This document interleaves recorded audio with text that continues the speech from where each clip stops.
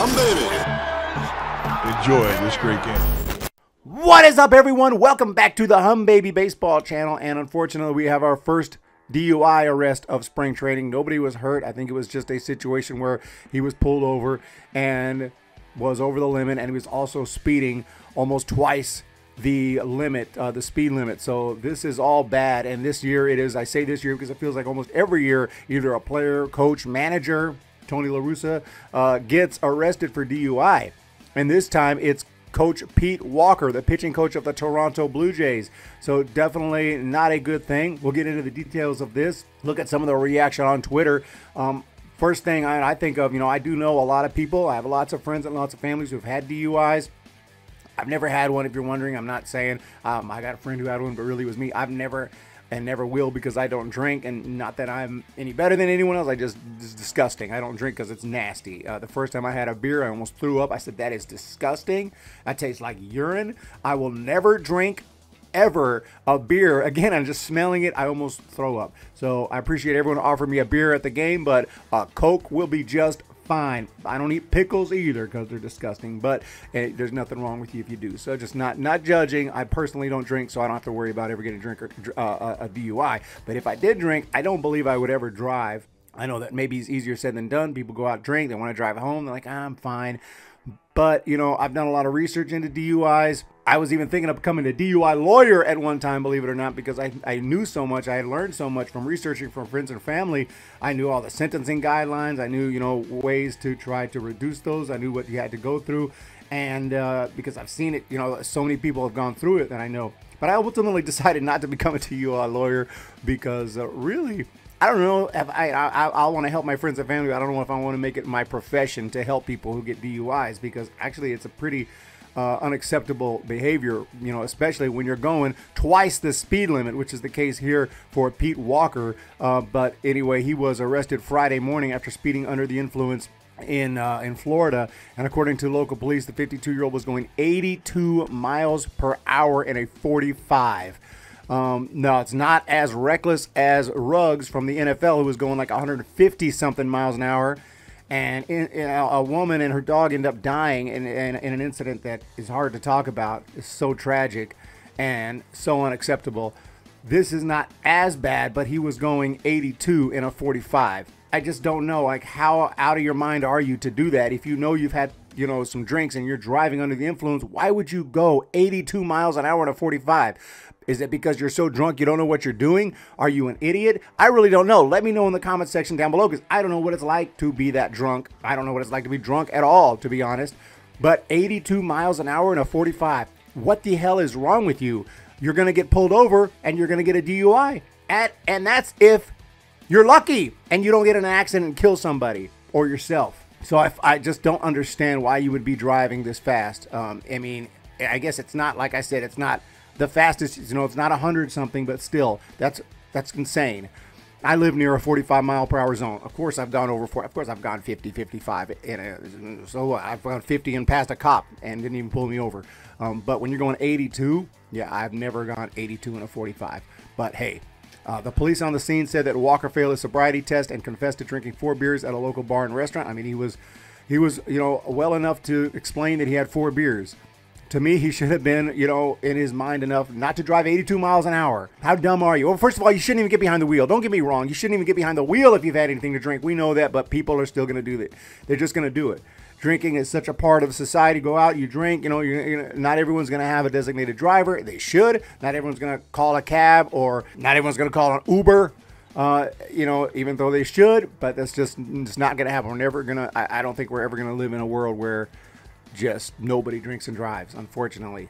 So you just got to be careful out on the road because there are people out there who have been drinking. Not only can you hurt yourself or someone, obviously, it goes without saying, you risk yourself getting pulled over and getting a DUI. And while this, actually, I've done a ton of research on it in California, the sentencing is relatively uh, light. I mean, you're not going to go to prison for a whole bunch of years or anything like that. You might spend some time in the, in, in the can, in jail. Um, you're going to get out and you're going to have to go to some classes. You're going to have to pay some money. I mean, it, it's not something you want in your life. White Sox manager and infamous uh, baseball personality, obviously Tony La Russa, was sentenced to one day of home detention Exactly what I'm saying. One day of home detention. I would love to be sentenced to some home detention. You know, one or two days of home detention, chill out at home.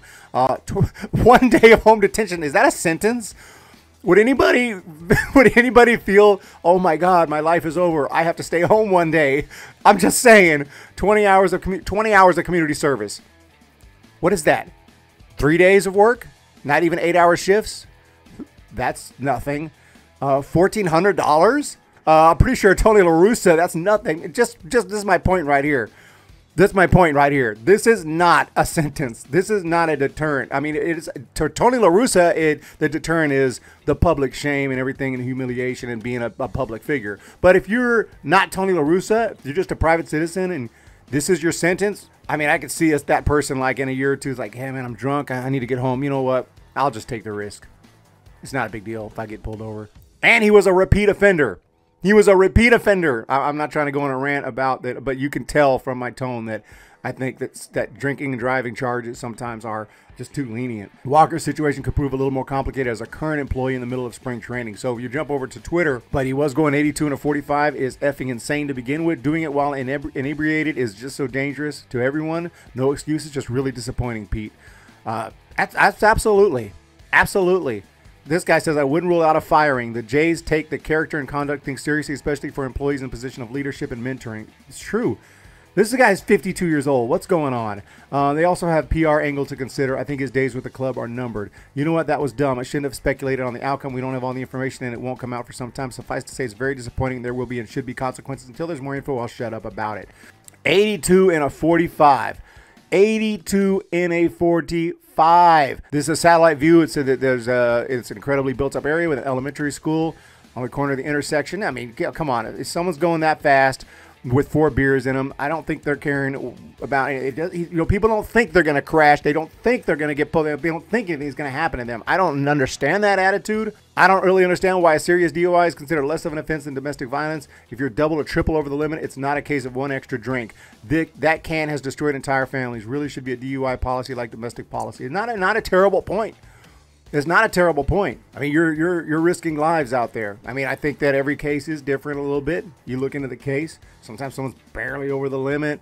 They were driving the speed limit, driving home from a party. I mean, I, there's no excuse, but there are definitely cert- circumstances in these things.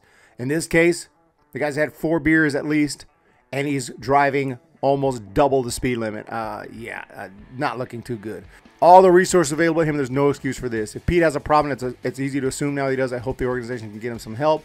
Honestly, firing would be warranted.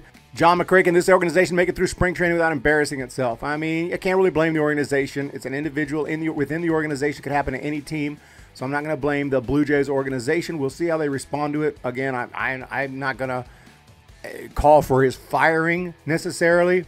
Like this guy said, the guy made a mistake. He's going to get a fair hearing and uh, we're gonna see what happens. But uh, you know, I, I, know that I used to complain when I was in the army how the army was all up in your daily life. Even you know, if you get a ticket or something, they they, they get on you, and it's like, dude, you know, you're you're just my job, you're just my work. Okay, I, I know MLB is a little different, and obviously the army is a little different, but still. Um, the law is going to take care of itself. If the law is going to impede on your work and lock you up in jail for a while, well, then you're going to miss work. You're going to have to let your work know, and then your work can can, can uh, take action.